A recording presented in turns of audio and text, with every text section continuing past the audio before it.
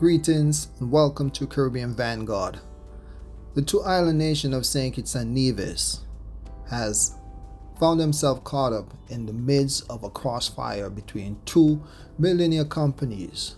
The first is MSR Media, which is a movie production company who have featured some films in the Federation, um, but somehow they decided to extend themselves and got into the CBI investment program to which they were approved through the alternative investment option.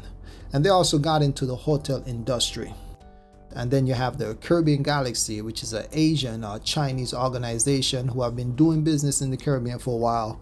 They are into the CBI and happen to be the primary organization when it comes to this program.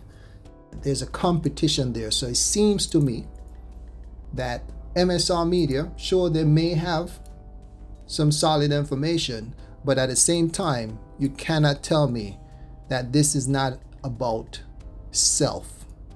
Because in some of their claims, or in one of their claims, they seem to show concern that the money that is being received for CBI is not being invested into the people or into the infrastructure. But it has nothing to do with the people. These folks are looking out for themselves. I could assure you of that. Dr. Denzil Douglas, Foreign Affairs Minister, was served with a MSR Media RICO lawsuit.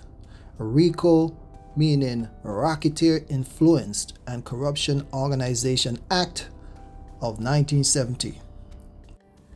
In addition to the lawsuit brought forth um, on Dr. Denzil Douglas, Mr. Philip Martinez, or the producer, Philip Martinez, also took legal step against other Caribbean stakeholders.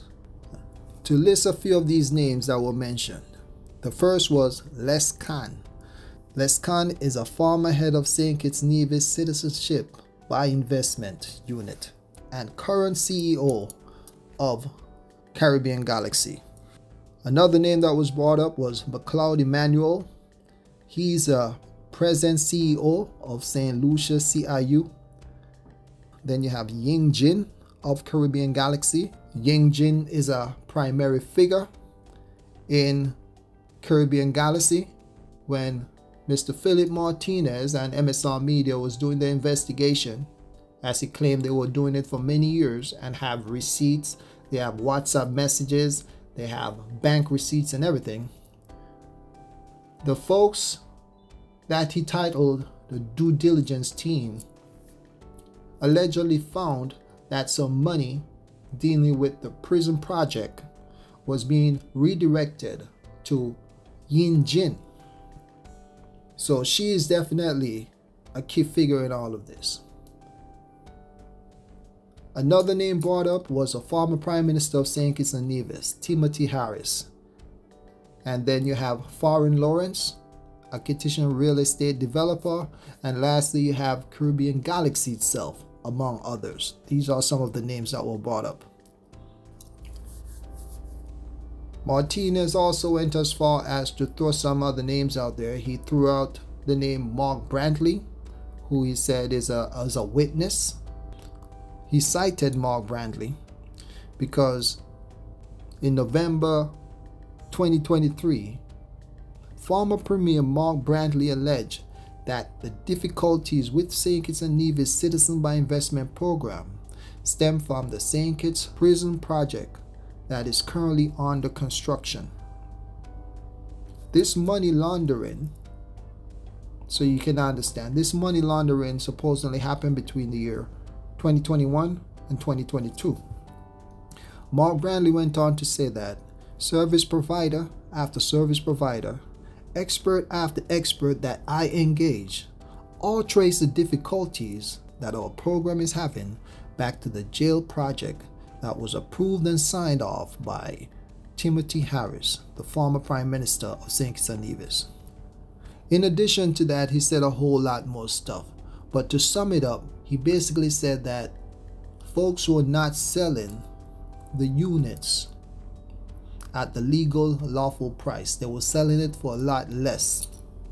And that's where the problem came. So, with all that's going on, it goes back to some of the videos I've made. It goes back to what our ancestors said. We cannot put things in the hand of other people. We cannot look to other people to be our savior. People of the Caribbean, I don't it doesn't matter what country you live on, you cannot count on the politicians. I am not saying that the politicians are corrupt. Of course, you got corruption in every place, so some are. But the thing about it is, they have pressure that's coming to them from other side. They have money that's waved in their face every single day. And eventually, somebody will cave. If not today, tomorrow, next year, five years from now, 10 years from now. So we need to help these politicians. We need to protect them, protect our own politicians.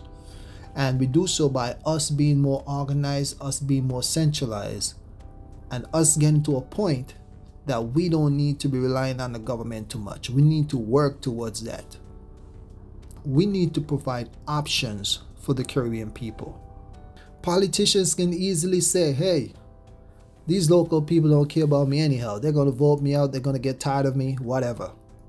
Or they can say they can't do anything to me anyhow but vote me out. I'm to still get my money. I'm to still get my land. My family to be taken care of. We have to understand that people who respect you out of convenience are to disrespect you the first opportunity they get. And you don't ever hear the word respect go hand in hand with weakness. So we have to gain strength, and strength is through unity. We have to become organized. We have to become wise. We really got to get on the same page. We don't have to have the same religion. We don't have to have the same of anything. But when it comes to that unity or a vision for the Caribbean, then we need some of us to really get it together.